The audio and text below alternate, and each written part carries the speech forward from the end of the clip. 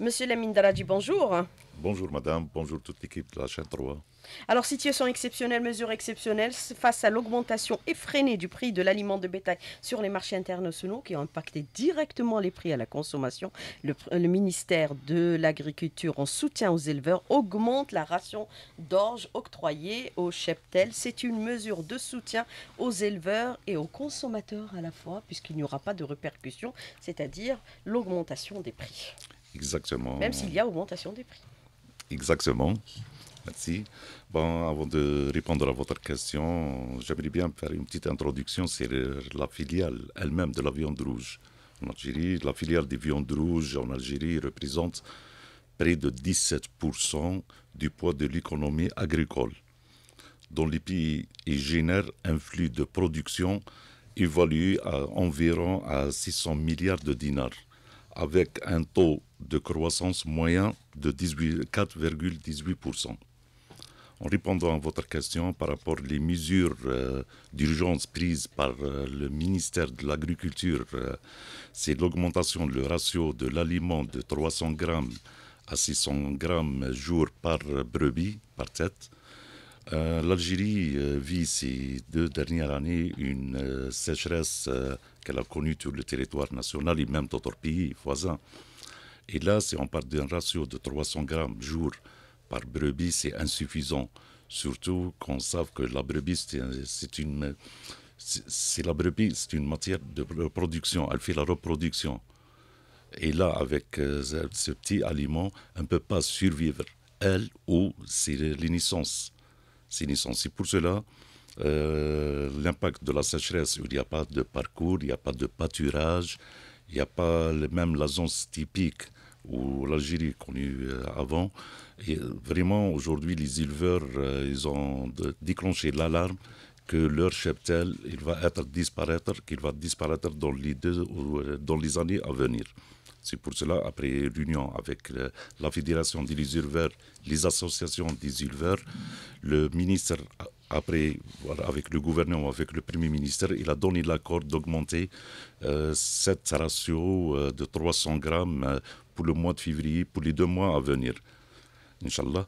Et ça, c'est pour assurer notre capital. Comme on savait, l'Algérie, elle a un capital de cheptel, l'ovin et des races qui sont connues mondialement comme la race de Ouled la race Al-Hamra, qui ont voie de distinction ou de disparition ces, ces races-là. C'est pour cela aujourd'hui l'État veut accompagner les éleveurs dans cette situation. Mais est-ce qu'on peut envisager d'autres dispositions éventuelles pour les éleveurs pour éviter bien sûr de décimer notre cheptel qui est évalué à peu près à 31 millions euh, de têtes? Exactement. Cheptel au vin. Oui, exactement. Euh, aujourd'hui, les dernières statistiques euh, revues dans le ministère, c'est 31 millions de têtes. Dans les 31 millions, il y a environ 19 millions de, de brebis reproductrices. C'est pour cela, aujourd'hui, il y a un autre dispositif d'accompagnement, si on peut dire, euh, pour ces éleveurs. C'est un contrat tripartite, c'est la triangulaire. Cette triangulaire, elle est signée entre les trois, c'est entre Alviar, c'est entre l'Office national d'aliments de bétail, c'est l'ONAP, et la Fédération des éleveurs. Le but de cette triangulaire, c'est l'accompagnement des éleveurs pour assurer la survie de, leur cheptel en rassurant, on donne un ratio de 1 kg d'aliments concentrés entre un aliment à base d'orge euh, pour chaque tête de cheptel. En contrepartie, l'éleveur, le, il assure que le produit il sera destiné directement pour euh, la société alvéole des viandes rouges. Le, plus important dans cette triangulaire, c'est en résumé le point de la triangulaire, c'est le plus, c'est la répercussion de la subvention accordée par l'État euh, sur l'orge sur le prix du kilogramme de viande. Et là, par la triangulaire, ce dispositif triangulaire, euh, on peut éviter la spéculation aujourd'hui que l'hiver, euh, à chaque fois, on voit que aujourd'hui sur les marchés, le quinto de l'orge, il dépasse les 5 000 à 6 000 dinars. Par contre, l'État a donné une subvention plus de 50% parce que le coût réel de l'orge au niveau des cours mondiaux, elle dépasse les 4000 dinars. L'éleveur prend cet aliment à 2000 dinars. Et là, à partir de la triangulaire et l'or subventionné par l'OAIC, on essaye d'éviter la spéculation euh, aujourd'hui. Mais quand vous parlez de spéculation, avec euh, ce contrat entre Alviar, ONAB et la Fédération des éleveurs, pour vous, euh, est-ce que cela va permettre l'accessibility aux viandes à des prix raisonnables? Parce que les prix, ils ont explosé sur le marché pour le consommateur, monsieur oui. Oui, oui, euh, la triangulaire, le but de la triangulaire, on a dit l'accompagnement, le recensement, le suivi sanitaire euh, du cheptel, le, recensement par des boucles. On va avoir des statistiques réelles par rapport au cheptel et même euh, l'identification des éleveurs. Parce qu'aujourd'hui, il, y a les il y a les éleveurs et les faux éleveurs qui profitent dans des situations. le coût de revient après une étude qu'on a fait, parce que ça va diminuer le prix des viandes.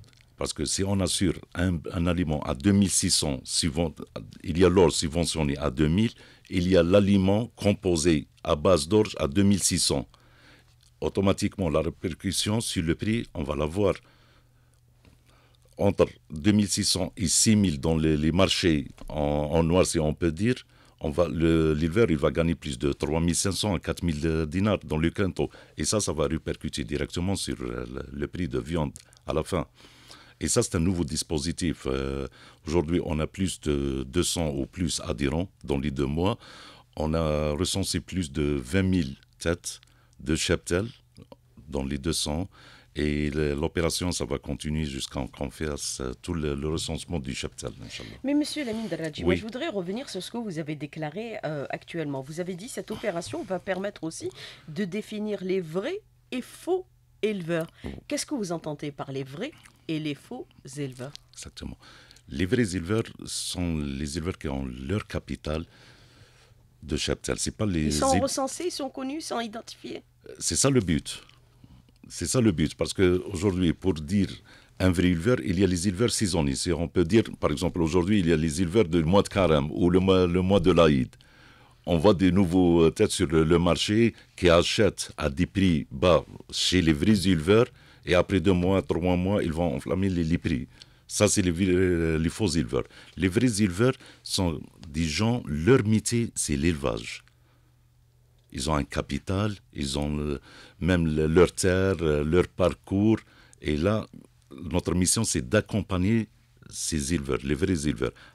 Par la triangulaire, on peut définir les vrais éleveurs. Parce qu'à chaque fois qu'on sort pour faire le recensement, on fait le bouclage du cheptel on fait le bouclage, on fait euh, l'accompagnement sanitaire et on sait ce, cet éleveur, la situation, sa, localisation exacte. Et à partir de là, on a commencé. Dans les 200, maintenant, on a une base de données. Quels sont les éleveurs, par exemple, dans les hauts plateaux, les éleveurs de la région Est ou Ouest ou Centre? Et à partir c'est un programme qui va durer dans pour les années à venir, c'est pas pour demain. Mais si c'est le but, comme vous le dites aujourd'hui, Monsieur Daradi, c'est-à-dire euh, identifier les vrais éleveurs euh, des faux, est-ce que cela veut dire que quelque part c'est un marché qui évolue aujourd'hui dans pratiquement l'opacité, dans l'informel, puisqu'on n'identifie pas, on ne connaît pas réellement les véritables éleveurs? Je reprends votre déclaration. Bien sûr, bien sûr, bien sûr, euh, bien sûr. bon, on sait bien qu'aujourd'hui il y a le vrais éleveurs, certes. Et là, d'après euh, ce qu'on a eu avec les discussions avec la fédération et les associations, à chaque fois ils disent qu'il y a des nouveaux, des nouveaux éleveurs dans le marché. On les voit euh, juste dans les fortes saisons où il y a la demande de viande. Là, par, par, euh, ce dispositif, on peut avoir les vrais éleveurs, oui on peut avoir les, les vrais éleveurs. On les connaît, on, a le chiffre par exemple des éleveurs aujourd'hui à travers tout le territoire national, Monsieur Daradji Oui, on a un chiffre. Si on dit il y a plus de, 20 000 ou 25 000 éleveurs. Mais dans les 25 000 éleveurs, on trouve des, des saisonniers pour moi. Hmm. Et par Qui ne font de l'élage qu'à des périodes d'appoint, c'est-à-dire à l'approche de l'Aïd al-Kibir. Ou Ramadan. Exactement. Alors, euh, est-ce qu'il y a d'autres actions pour aujourd'hui pratiquement préserver euh, le cheptel algérien qui est qualifié comme étant un cheptel de haute qualité par rapport à sa saveur et euh, gustative en termes de viande, puisque nous avons vu que certaines races sont quasiment aujourd'hui menacées de disparition. On, place, on parle pratiquement de Ras al-Hamra aujourd'hui qui doit être préservée. Et on parle aussi de la race de Ouled Jellel qui parfois, malheureusement, euh, elle est euh, couplée avec d'autres races et elle risque de disparaître sur le long terme. Quel est votre commentaire justement par rapport à cette précision? Est-ce que vous avez aussi cette euh, volonté de préserver le cheptel avec bien sûr les races existantes au niveau local? Exactement. pour les races à haute valeur, on peut dire la race Hamra qui est en voie de disparition. Il, y a, il reste quelques milliers de têtes. Et même pour Djellal. Euh, elle est menacée de disparition. Elle est menacée. Moi, je pose la question autrement. Euh, aujourd'hui, si on voit dans les marchés ou les bouchers, boucheries au niveau de l'Algérie, on trouve que la brebis, il y a la brebis, il y a l'agnelle et l'antonaise. Actuellement, il y a un massacre. On a touché le, le capital reproducteur. la brebis. C'est la brebis, c'est la mère, c'est la maman après trois ans, quatre ans, si on n'arrête pas ce massacre, on va aller pour l'importation d'ovins. Ce n'est pas que le bovin, mais on va aller jusqu'au bovin, l'ovin, l'importation. C'est pour cela, dernièrement, monsieur le ministre a pris une décision, décision ferme. C'est euh, au niveau des services vétérinaires de chaque wilaya, il donne des instructions que l'interdiction totale de l'abattage de la femelle. Sauf il y a la, femelle de réforme ou. Euh, pour euh, retourner à votre question par rapport aux races en voie de disparition, il y a un programme, même Alviar a mis un programme euh, spécial pour ces races, euh, surtout la race Al-Hamra qui est presque aujourd'hui elle est en voie de disparition. On va repeupler ces races. Comment? On a fait des centres On a mis des centres euh, au niveau de Alviar, c'est de la reproduction de ces races. Il y a un programme au niveau du ministère, même euh, il y a un grand programme au niveau du ministère pour la production et la sauvegarde de ces races euh, pour l'avenir, Inch'Allah. Qu'est-ce qui sera fait? C'est-à-dire mettre en place pratiquement la banque des gènes pour permettre la reproduction de ces races, et les préserver? Oui, oui. Ou encourager aussi les éleveurs à les produire? Exactement. Exactement. Aujourd'hui, il y a le, centre, le, les CNIAC et les TELV. Ce sont des centres de recherche et, qui sont en train de développer et, ou de, de garder les races, les gels des races de l'Hamra et le Djellal et autres races. Là, c'est un travail, c'est des grands ateliers qui sont déjà ouverts et on, la prochaine fois, Inch'Allah, euh, je vais vous donner plus de détails sur euh, ce projet. Oui, mais par rapport à la race de Ouled qui est en voie de disparition, on a vu les Moualines ou les éleveurs qui ont lancé euh, un cri de détresse. Est-ce que c'est par rapport à l'introduction frauduleuse de certaines races qui viennent aujourd'hui se coupler aux, races locales? Est-ce que c'est le cas? Est-ce qu'il y a des importations frauduleuses de certaines bêtes? Non, pour le l'ovin, il n'y a, a plus d'importation. Il n'y a pas d'importation. Ça fait des années qu'on n'a pas. Frauduleuse. Je dis importation frauduleuse, pas légale. Ben, je ne peux pas vous répondre à cette question, mais j'ai eu une discussion, moi, avec. J'étais dernièrement à Ouled Jellel, avec les éleveurs de Ouled Jellel. Bon, le problème pour eux, c'est l'aliment. C'est l'aliment. C'est la priorité, c'est l'aliment. Même tous les éleveurs en Algérie, ils ont. c'est l'aliment aujourd'hui. Parce que leur cheptel, Aujourd'hui, il est en train de voir de disparition par manque d'aliments. Ils vont leur cheptel. Ils ont même laissé leur métier, quelques éleveurs par rapport à la cherté de l'aliment. Mais avec l'absence de pâturage, est-ce que cela veut dire quelque part qu'il y aura aussi des répercussions sur les prix pour les prochains mois, puisque nous arrivons à un mois euh, de consommation par excellence, le mois de Ramadan, on le prépare à partir de maintenant. Est-ce que ça va un peu flamber encore davantage les prix par rapport à ce qui est actuellement pratiqué sur le marché, même si c'est en hausse aussi hein? Oui, euh, à ce sujet par rapport On atteint pratiquement les demi-dinars le kilogramme. Exactement, exactement. Pour cela. Je parle de l'ovin. Oui, oui, oui. Mais on pose la question autrement. Pourquoi l'ovin? Il a, euh, On voit une augmentation vraiment. Parce que les Algériens aiment l'ovin. Il y a, en, plus, il y a manque du bovin sur le marché.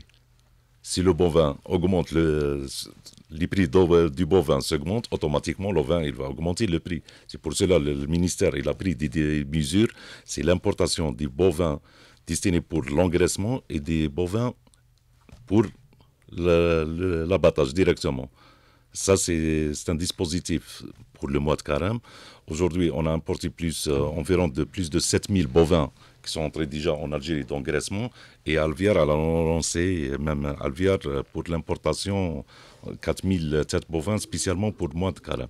Une fois on commence euh, l'abattage et la distribution sur les réseaux de, de, de vente de Alviar et du groupe agrologue, on va constater qu'on va avoir une stabilisation par rapport aux prix. Alors, euh, monsieur euh, Lemid Draji, moi je voudrais revenir avec vous sur ce que vous avez déclaré dans la première partie de l'invité de la rédaction. Si on s'en tient à vos propos, on a commencé déjà à préparer le mois de Ramadan. On va importer de la viande Oui. Euh, pour le mois de carême. Exceptionnellement pour le mois de carême Non, non, c'est pas euh, exceptionnel pour le mois de carême. Aujourd'hui, le, ministère, la tutelle a donné les autorisations d'importation pour euh, les privés, pour qu'ils importent des bovins d'engraissement. Ils ont déjà commencé l'opération, ça fait plus de un mois. Les gens, ils ont commencé à entrer les, bovins. Et pour Alviar, ils ont donné une autorisation exceptionnelle pour les torions de boucherie directement. Et euh, j'ai dit plus de environ 4000 euh, torions, Inch'Allah. Revenons juste euh, par rapport à la production nationale. Aujourd'hui, la production nationale, c'est, elle tourne sur 580 000 tonnes de viande. Ça, c'est la production nationale. Euh, sur l'ensemble des structures, on a 89 abattoirs, 266 structures d'abattage et plus de 60 000 emplois directs. Si on voit, par exemple, ici l'évolution de l'importation, on, prend entre 2016 jusqu'à 2021 par rapport euh, juste pour le bovin fraîche ou le bovin congelé, il y a une digression plus de 87%. Par contre, il y a une augmentation par rapport aux torions d'embauche et les, euh, torions d'engraissement. Pourquoi on a favorisé l'importation, le vif que la viande fraîche congelée, ou euh, la, la viande congelée, la fraîche, c'est par rapport à la valeur ajoutée. Parce que si on importe euh, la viande fraîche directement, quel est le gain, quelle est la valeur ajoutée dans cette importation? Par contre, les torions d'embauche, on va garder le cinquième quartier, on va créer des postes d'emploi, il y a les taxes, euh, il y a tout, un process. C'est pour cela qu'aujourd'hui, le, ministère euh, de l'Agriculture, euh, leur vision, c'est d'importer mieux que le vif, que le, le fraîche ou le congelé. Répondant à votre question par rapport aux points de pour la commercialisation ou la préparation du mois de carême, euh, Alviar, euh, elle a commencé déjà, on a des points de vente au niveau de Alger, et on va ouvrir au niveau de Annaba, Oran, les grandes villes. notre objectif, c'est 150 points de vente euh, répartis sur des wilayas, plusieurs wilayas. le prix, il sera un prix de viande préférence, étudié euh, je dis euh, comme ça, il ne va pas dépasser les 1300 dinars pour euh, l'ovin et 1200 dinars pour le bovin. Mais justement, je voulais revenir sur cet aspect. Vous ambitionnez aujourd'hui d'aller vers la création de 250 points de vente à travers tout le territoire national pour mettre à la disposition des consommateurs de, la viande à des prix raisonnables. Vous avez des points de vente d'Elvia euh, où on constate que le kilo de l'ovin est à 1300 dinars. Mais à l'extérieur, au niveau de certaines boucheries, il atteint les 1600 dinars, voire dans d'autres euh, endroits, comme par exemple une grande euh, surface au niveau de l'Est d'Alger, il est pratiquement à 2000 dinars. Qu'est-ce qui justifie aujourd'hui cette grosse différence de prix? Parce qu'il faut dire quand même, c'est pas moins de 300, voire même 700 dinars, de différence. Exactement. La différence, euh, Alviar possède... C'est un produit de spéculation par excellence? On peut dire. C'est la réalité. Oui, parce que actuellement, réellement, Est-ce normalement... que les instruments de maîtrise du marché aujourd'hui échappent aux responsables concernés? Puisque vous avez parlé tout à l'heure de vrais éleveurs et de faux éleveurs, Monsieur Dradji. Et les vrais commerçants et les faux commerçants, si on peut dire. Aujourd'hui, Alviar, elle dispose de ses propres centres d'engraissement, ses fermes pilotes. Elle dispose de ses fermes pilotes et les centres d'engraissement. Euh, et même le produit qu'on a discuté tout à l'heure, la triangulaire, la, signature de la triangulaire, elle permet d'avoir un prix euh, étudié et raisonnable pour le consommateur final. C'est ça le plus important. C'est, on dit aujourd'hui au niveau des centres, les points de vente de Alviar, au niveau de Hassiba ou au niveau de bière, on trouve la viande ovine, elle ne dépasse pas les 1300 dinars. Et ça, pour moi d'ailleurs, 1300 c'est cher quand même, parce qu'on est un pays producteur de la viande ovine. Normalement, elle ne dépasse pas les 1100 dinars ou les 1000 dinars. Aujourd'hui, avec l'aliment, parce que c'est vrai qu'on a 31 millions de têtes. C'est énorme. Ça pourrait nourrir tous les Algériens au quotidien. Exactement. Euh, aujourd'hui, on voit l'importation de, des matières ou de l'aliment qui ont flammé sur le, marché international. Ça, va, ça a impacté directement le, coût de viande. C'est pour cela qu'on a lancé un programme euh, pour Alviar, c'est de faire notre propre aliment. C'est de lancer les fermes pilotes les fermes pilotes, c'est des fermes.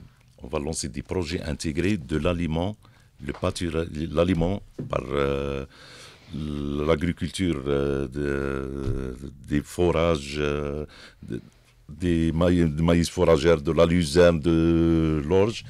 En même temps, on a la production animale, on a la brebis, on a des centres d'engraissement et on a nos abattoirs. On a les meilleurs si on peut dire, on a trois complexes d'abattage à la norme HACCP. C'est un, grand investissement qui, se trouve ces abattoirs au niveau de l'Bayad, au niveau de l'Jelfa et au niveau de Haïm Lila.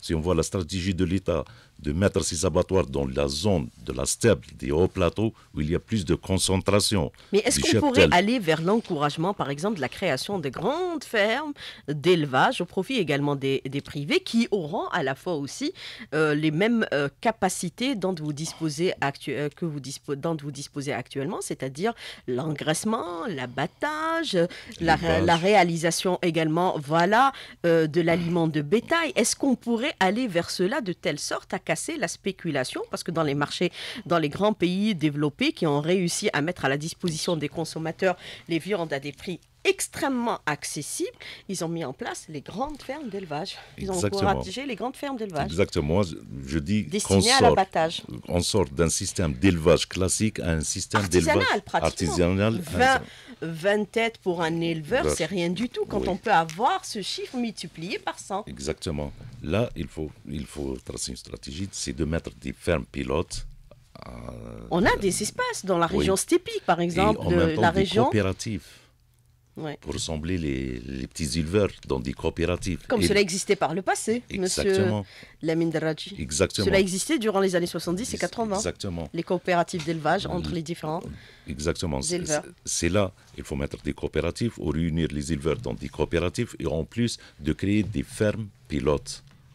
La ferme pilote, il y a des exemples aujourd'hui au niveau des euh, les wilayas de Sud il y a des gens qui ont commencé ces projets. L'investissement étranger serait le bienvenu aussi dans ce cadre-là, pour les grandes fermes d'élevage? Bien sûr, s'ils donnent le plus, euh, on dit alors vous avez cette question de l'auditeur qui vous dit aujourd'hui ce qui est constaté, Monsieur euh, Daradji, c'est 80% des viandes rouges consommées par les Algériens sont issues du bovin et de l'ovin.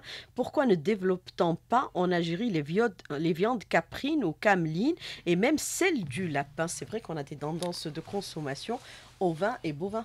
Oui, pas les autres. Le lapin n'est pas fortement consommé par les Algériens, alors que dans d'autres pays aussi, il peut être un complément. Vous avez aussi le camelin.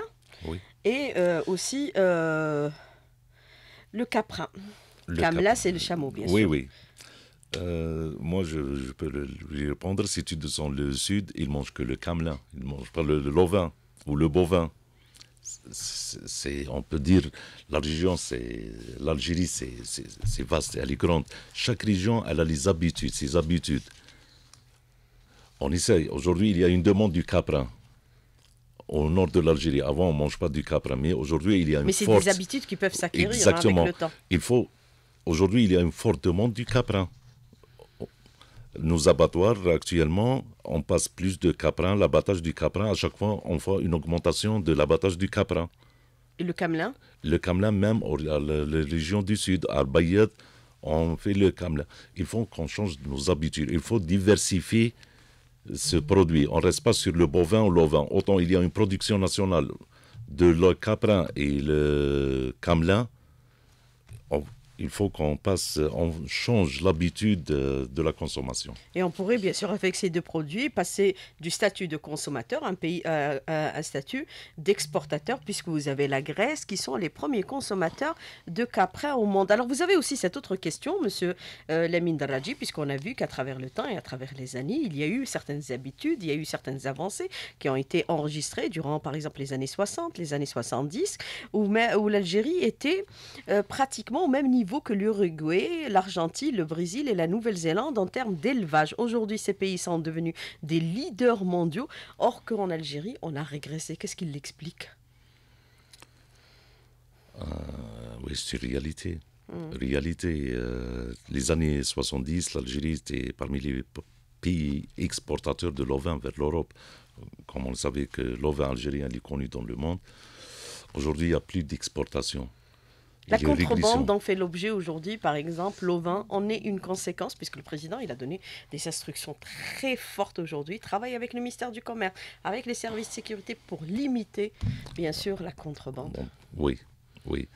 Euh, moi, j'ai vécu à un certain moment à la wilaya de Zbessa où j'ai vu notre euh, cheptel et surtout la race de Djeller qui traverse la frontière vers les pays voisins. C'est notre capitale, c'est notre patrimoine. Il faut revoir le patrimoine. Ce patrimoine, le grand patrimoine conserver. de Cheptel, il faut le conserver. Alors, combien d'unités d'abattage et de transformation dispose euh, votre groupe en- de viande rouge au niveau national? C'est autre question de l'auditeur. Oui, euh, on a trois complexes euh, d'une grande capacité, environ 250, euh, 25 000 tonnes d'ovins et 20 000 tonnes bovins par an. Ils sont répartis à la wilaya de Bayat, wilaya de Djelfa et la wilaya de Om Et on a un autre abattoir euh, à Annaba, c'est un ab- abattoir qu'on a fait la réhabilitation il- suivant la norme HACCP. Ça, c'est les quatre abattoirs euh, répartis. euh, mais c'est des abattoirs, c'est des complexes. C'est pas des abattoirs, c'est des complexes. Mais parallèlement, il y a aussi des abattoirs clandestins, puisque vous avez parlé de vrais et de faux éleveurs. Est-ce qu'il va falloir aussi impérativement combattre ce phénomène, Monsieur Non. Daradji Ou l'encourager pour être des abattoirs à la norme.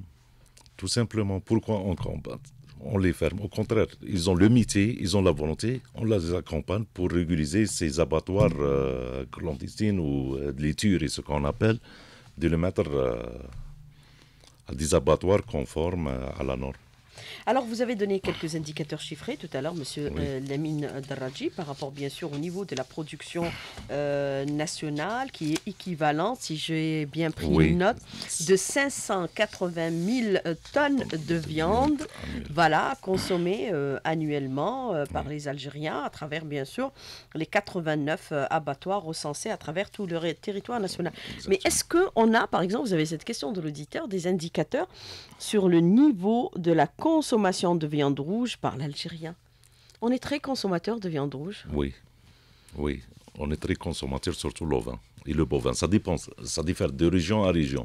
Si on parle les hauts on plateaux, préfère la généralement steppe, l'ovin. la steppe et les hauts plateaux, c'est. Si on vers le nord, vers euh, plus, c'est ovin, bovin. Ça dépend. Vers le sud, c'est le caprin et le camelin. Mais les Algériens, c'est en général, c'est ils demandent plus de, de viande. Mais est-ce qu'on a un niveau euh, de la consommation nationale par Algérien? Mais je n'ai pas ce chiffre exact. Alors la steppe, c'est la région euh, de- de- d'élevage par excellence. Aujourd'hui, la steppe est en voie de dégradation. Est-ce qu'il y a des mesures qui sont prises pour préserver cet espace de pâturage pour notre élevage, qui est extrêmement important? Parce Oui. que c'est à la fois une ceinture contre l'avancée du dessert. Exactement. C'est la région d'élevage. Oui, c'est la région où il y a plus de concentration de cheptel. Si on dit la steppe, c'est la région d'élevage par excellence. Exactement. Il y a des mesures euh, prises par euh, le ministère pour euh, sauvegarder la steppe, de donner une autre vie, si on peut dire, pour la steppe. Et là, on voit que les éleveurs aujourd'hui, ils passent du, nord vers le sud, de des hauts plateaux vers le sud. Aujourd'hui, il y a plus d'élevage dans la wilaya de Adrar, la wilaya de Timimon, la wilaya de Lemnia où ils ont trouvé plus d'aliments, les pâturages. Euh, actuellement, avant, on voit les éleveurs viennent du sud ou des hauts plateaux vers le nord, mais aujourd'hui, c'est le contraire. Et ça, on va changer la cartographie du pâturage euh, en Algérie. Alors, euh, autre question qui me semble être extrêmement pertinente, existe-t-il aujourd'hui une coopération avec des centres de recherche pour trouver des solutions alternatives sur l'alimentation du bétail, par exemple? Il y a euh, le centre de recherche de Biskra qui a trouvé une méthode alternative et a donné, qui a donné des résultats impressionnants sur la base de déchets de date. Oui. Oui. Est-ce que vous travaillez avec les centres de recherche pour trouver des alternatives à l'aliment de bétail? Euh, Nous, personnellement, on travaille avec l'ITEL, c'est l'Institut euh, d'élevage et développement de l'élevage, ou la CNIAC, c'est le centre de recherche. Et même, on a signé dernièrement une convention avec l'Université de Bilida pour développer la filière des viandes rouges en matière de viande. Et en plus, euh, avec l'INRA, c'est l'INRA, c'est en matière d'aliments de bétail. Bon, je, sais qu'à Biskra, ils ont développé euh, un aliment, c'est les résidus ou les déchets des dates. Euh, c'est un aliment à une valeur nutritive, euh, vraiment, il a une valeur nutritive. On va contacter ces gens pour au moins faire des échanges et avoir plus d'avantages avec eux, au moins on réduit la facture parce que pour nous, c'est la facture d'importation. Si on trouve Elle est de quel ordre la facture d'importation pour l'aliment de bétail? Euh, Elle est importante? Bon, on importe, euh, si on peut dire. Bon, elle n'est pas vraiment importante, mais elle a un impact sur euh, toujours, je ne peux pas vous donner un chiffre exact, mais je sais aujourd'hui que le prix de le Cantal du, de l'orge, il dépasse les 4000 dinars euh, en Algérie, 4000 dinars euh, algériens. Mais est-ce qu'il va falloir trouver d'autres alternatives, c'est-à-dire aller vers l'encouragement de la production de l'aliment de bétail? C'est impératif aujourd'hui. Oui, oui, Puisqu'on a commencé pour certains produits, par exemple, euh, pour l'aviculture, on parle de, la, de, bien sûr de la fabrication aujourd'hui ou de la production du maïs. Oui. Non, non, c'est ça, c'est la solution. On n'a pas le choix actuellement si on parle de la sécurité alimentaire, il faut qu'on fasse notre euh, aliment nous-mêmes. C'est d'encourager les jeunes. C'est à travers, euh, aujourd'hui, il y a le programme de l'audace euh, au niveau du ministère de l'Agriculture. Ils accompagnent les jeunes pour faire tout ce qui est aliments, tout ce qui est céréaculture. Il faut qu'on, c'est bon. Exactement, il faut qu'on ne compte que sur euh, nous-mêmes. Pourquoi ne pas aller vers l'encouragement de l'élevage de la euh, chèvre, même au niveau des régions du nord du pays? Monsieur euh, puisque même euh, sur le plan de la consommation, c'est une viande qui est quand même très appréciée par les Algériens. Oui, ça c'est un programme du ministère. Euh, nous, Alviar, c'est notre spécialité. C'est les viandes rouges, mais tout ce qui est élevage, euh, c'est le ministère. Il y a autre département ministériel qui s'occupe euh, ou qui est chargé par cette, cette profession d'élevage du caprin ou, au niveau du nord ou de la chèvre. Alors, euh, vous avez autre question, c'est-à-dire aujourd'hui, nous avons vu euh, une introduction, euh, c'est-à-dire importation frauduleuse de certaines races. Est-ce qu'elle risque pas aussi de porter préjudice aux races locales sur le plan de la contamination sanitaire? Toutes les dispositions euh, sont prises pour éviter, par exemple, qu'il y ait certaines maladies qui n'affectent euh, notre cheptel, Monsieur Draghi Bien sûr, bien sûr. Euh, le ministère, à travers la direction des services vétérinaires, ils ont mis un cahier de charge. Le cahier de charge, dans ce cahier de charge, il y a les exigences sanitaires. Hmm. On ne peut pas importer n'importe quelle race ou n'importe quelle race ou n'importe quel pays s'il n'y a pas les, exigences sanitaires. C'est ça. et là, ces exigences sont mises pour faire la traçabilité du chapelle euh, bovin, parce qu'on importe plus le bovin, euh, pour faire une traçabilité pour ces importations. Mais euh, vous avez aussi cette autre question de l'auditeur qui est très intéressante, qui vous dit la lutte contre la spéculation ne pourra se faire qu'à travers des actions sur le long terme, des actions pérennes, non pas des actions conjoncturelles. Ça fait quelque temps déjà qu'on observait l'augmentation du prix de l'aliment de bétail sur, euh, bien sûr, les marchés internationaux. Ajouter à cela le prix du transport qui a été multiplié par 10, euh, qui a eu des répercussions aujourd'hui sur le prix de revient de l'aliment, puisqu'il est cédé un peu plus cher aux éleveurs, est-ce qu'on n'aurait pas pu mettre en place des mécanismes pour surveiller et être tout le temps en alerte pour, c'est-à-dire adapter les mesures en fonction de la situation et ne pas être dans les mesures d'urgence, c'est-à-dire parce que là, il y a eu les Moualines ou les éleveurs qui ont lancé un appel en direction du président de la République. Monsieur Lamine on a vu les vidéos circuler sur euh, les réseaux sociaux. Non, d'ailleurs, hier, euh, j'avais une réunion avec la fédération des éleveurs, jusqu'à minuit d'ailleurs. Oui, euh, je pense que il faut réfléchir sur des actions sur le long terme. Il faut sur le moyen et le long terme. On ne travaille pas dans l'urgence. Le, le, mois passé, Monsieur le Président a déclaré sur les fermes le rôle des fermes pilotes. Avant, comme vous avez dit, les années 70, il y a les fermes, le rôle des fermes. Il y avait les coopératives aussi. oui, il y a les coopératives. On va retourner vers ça. Mais cette fois, avec, euh, on va lancer les coopératives, les fermes pilotes les fermes pilotes, j'ai dit, c'est des projets intégrés amont-aval. C'est pas juste des fermes. Mais pour la grosse production aussi. Et pour la grosse production. Parce qu'on est 45 millions d'Algériens. Les années 60, on était pratiquement Bien sûr. 12 millions d'Algériens. Bien sûr. Euh, bon, dans ce sens, euh, on va lancer, Inch'Allah, un projet à Wilayat de Bayat, exactement à Bordeaux, en partenariat avec un groupe algérien. On vise euh, d'ailleurs dans ce projet plus de 40 000 têtes de, de brebis reproductrices. Inch'Allah, dans les jours à venir, on va signer le contrat avec euh, une société algérienne. Inch'Allah, pour euh, lancer ces fermes, on a une ferme d'un euh, plus de 10 000 hectares. on va lancer un projet de production. Et ça, ça va générer un flux important de cheptel. Et ce modèle, on va le mettre sur d'autres wilayas. C'est tout ce que nous pouvons espérer, euh, bien sûr, Monsieur Lamine euh, Daraji. Euh, merci d'avoir répondu à nos questions, d'avoir été en direct avec nous ce matin dans le studio. Merci beaucoup, bonne journée. Et pour votre santé et votre sécurité, portez vos masques. À bientôt. Au revoir. À demain.